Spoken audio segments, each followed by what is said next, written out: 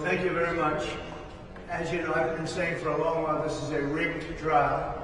It's coming from the White House. They have White House DOJ people in the trial, in the DA's office, representing the DA because he's probably not smart enough to represent himself. This guy got elected using Trump, and you're not supposed to do that.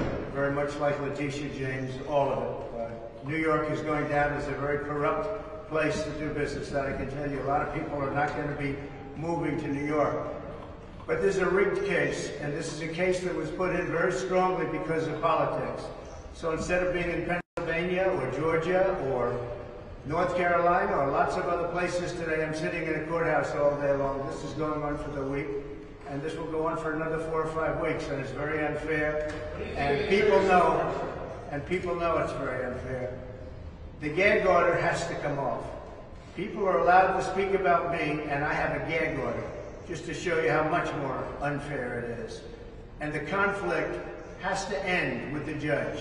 The judge has a conflict, the worst I've ever seen, and it has to end with the judge.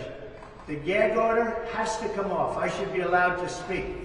Every time I come out to speak to you, I want to be open because we did absolutely nothing wrong. I showed you yesterday 30 stories, 32 stories of experts, legal experts, and I don't have one the other way.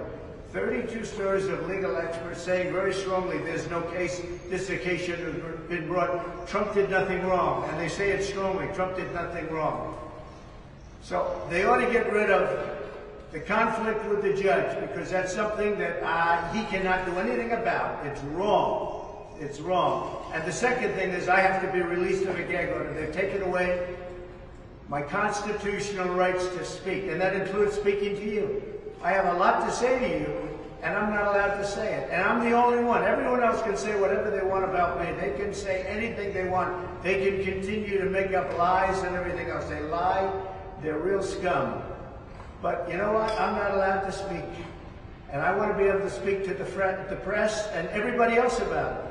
So why am I gagged about telling the truth? I'm only telling the truth. They're not telling the truth.